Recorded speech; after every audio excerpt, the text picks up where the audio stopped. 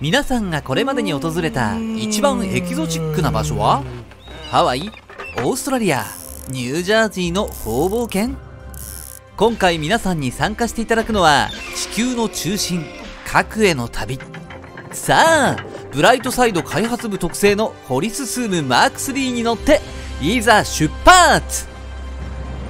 地球の中心は地表から数えて 6370km の地点にありますから結構な長旅が予想されます。現在我々が突き進んでいる層は地殻と呼ばれ地球をリンゴに例えた時の皮のような部分になります。他の層に比べてごくごく薄いことがわかるでしょう。おや？早速ウサギさんを追い抜きましたね。ウサギは地中 0.7m 程度の深さに巣穴を作ると言われています。この深さでは彼らがたくさん暮らしていることでしょう。おようにょうにょするのはミミズかな。深く潜るタイプのミミズはドバミミズあるいはナイトクローラーと呼ばれ体は大きく成長し地中3メートルにまで潜ることができます。さあさあ進んでいきましょうん？なんかピーピー聞こえますね。きっと金を掘り当てようとしている人がいるんだ。金属探知機が届く深さがここまで。見つかるのは金じゃなくて車とかの鉄くずだったりするんですよねそんな金なんて埋まってるわけがない。そしてここがモグラ男の住処か。つてロンドンには40年間自分の家の地下を掘り進み8メートルにまで到達した男が住んでいたんです。彼は一体何を探していたんでしょう？さて地殻は薄い層だとお話ししましたね。その厚さは 35km 海底は主に玄武岩質大陸は主に花崗岩質からなっています。ですから地殻には海洋地殻と大陸地殻の2種類があるんです。おやおやおやワニがいましたか。ナイルワニは動物の中で最も深い巣穴を掘る生き物で最も深くて地中12メートルの位置で発見することもできるんですよ。地上の世の中から身を隠したいのはワニだけではなく人間もそうで世界には様々な地下都市がシェルターや墓場といった形で残されています。最も深い地下都市はトルコのカッパドキア地下。85メートルの深さに存在したこの都市は18階層に分かれ2万人が暮らしていたと言われています。そんな深いところでと思いきや現在でも世界で最も深い地下鉄駅はウクライナのキエフにあり深さ106メートルの位置で電車に乗ることができます。人間は技術を発達させてようやくここまでやってくることができました。しかし木はとっくの昔からそれ以上の深さにまで達しています。南アフリカに自生している木は根っこを地下 120m の深さにまで伸ばすことで知られています。さて今現在私たちが突き進んでいるのは大陸近く。ここについては2つのことをお教えしましょう。まず大陸近くは20億歳。ちなみに世界最古の岩石は40億年前のものでこれはカナダのハドソン湾岸で発見されました。大陸近くは地球の40%を覆い残りは海洋近くに覆われています。この場所の花崗岩は空気に触れる機会が多いため海底の玄武岩に比べると含んでいるシリコンアルミニウム酸素の量が多いのが特徴です。これまでに人類が利用してきた金属や鉱物の故郷がこの辺りになります。ただダイヤモンドだけはもう少し深いところにありますからこの先で見つけるとしましょうか。皆さんちゃんとポケットは空にしてきてます？おやおやおやあれはランニングウェアを着た人々ですかね？耳を疑いそうですが2004年にはポーランドのボフニャ岩塩港で史上最も深いハーフマラソン大会が開催されたんです地中深く 212m の場所を走り回る人なんてそうそう見れませんよ。こんなところに人がいたんだからちょっとやそっとじゃ驚かされませんよ。ってコウモリさんこんなとこで何やってるんです？毎年ニューヨークの亜鉛鉱山では地下 1125m の深さでコウモリが冬を越すことで知られているんです。ここならあったかいですからね。と思いきや急に冷え込んできましたよ。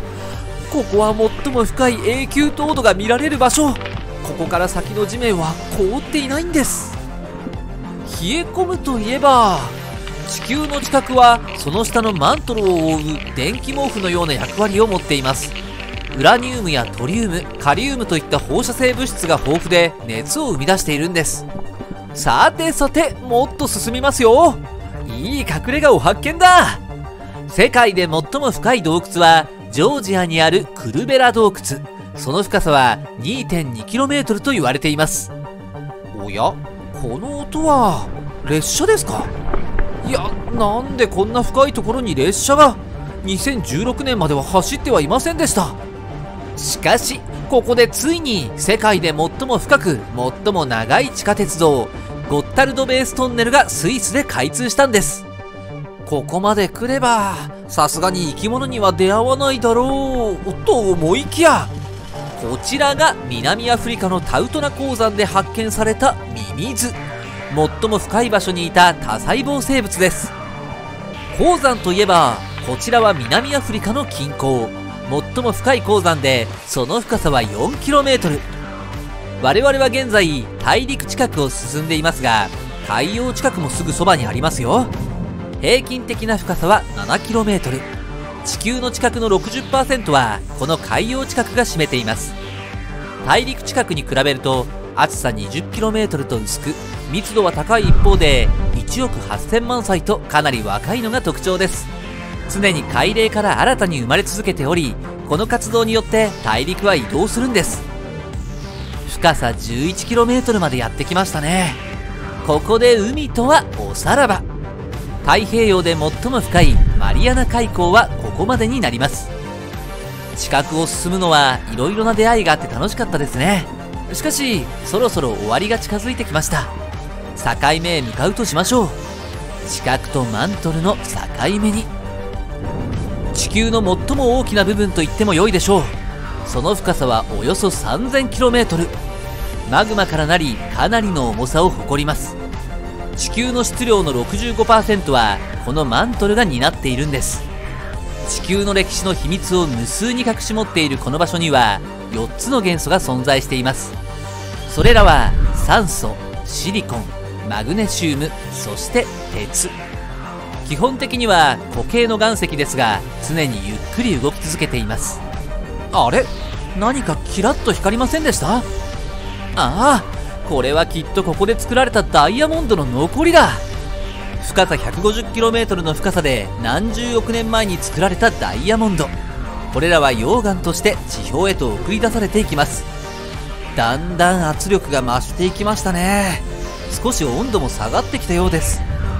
ここは地震が生まれる最も深い地点。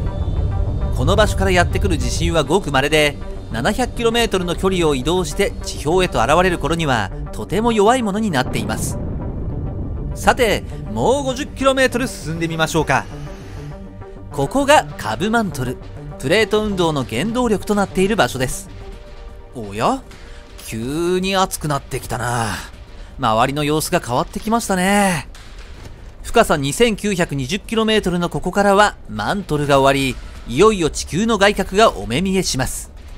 太陽の当たらない灼熱の液体金属の海。その大きさは火星1個分だと言われています。この金属の海には海流があり、嵐やサイクロンを引き起こす磁界や電解が形成されています。ちなみに地球の地磁気はこの外角から生み出されているんですよ。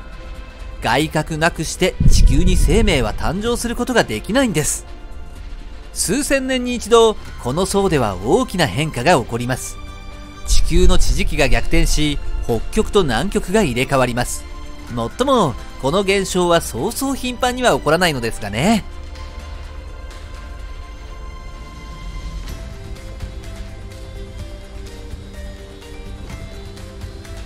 深さ 4140km にまで到達しましたね。内角が現れました。地球の最も内側に存在する内角は80%の鉄と20%のニッケルからなる超高密度の固体の球でその温度は6000度。太陽の表面温度と同じ温度になります。内角の大きさは月とほぼ同じで地球の質量の2%を担います。海の水を全て取り出して5倍にするとちょうど内角と同じくらいの容積になると言われています。地球の100万倍高い圧力のために固体の状態を保っているという不思議な存在です。ここまでの深さへ実際に到達した人はえー、っと我々を除いてはいませんので科学者たちは今現在も核の秘密を解き明かそうと色々な研究を行っています。一部の科学者は外核で生まれた鉄の結晶が内核付近で町一つ分の巨大な結晶へと合体すると考えているようでそのために内核はクリスタルコアの別名を持っています。割と最近にイギリスの研究者たちが行った研究では内核が意外と若いことが判明しています。おそらくその年齢は5億歳から10億歳程度だろうと言われています。地球の歴史に比べれば確かに結構若く思えますね。地球の中心がどこかは未だ正確には分かっていません。でもまあとりあえず深さ 6370km のここに旗を立てておけば誰も文句は言わないでしょう。なかなかの冒険でしたね。さて今度は自分一人でと準備を始めている皆さんにはご注意。地球の核へ実際に向かうにはまだ技術が未熟な部分がありますが何よりも注意していただきたいのは皆さんでは核の苛烈な圧力と熱には耐えきることができないこと。ちなみに全てに耐えうるトンネルを作れたとすれば18分の落下でそこに到達することができます。それではグッドラック。皆さんは将来地球の核へ行ってみたいと思いますか？コメント欄で教えてくださいね。動画の高評価とお友達へのシェア。ブライトサイドのチャンネル登録もお願いします。ブライトサイドの動画はまだまだたくさん。引き続きお楽しみくださいね。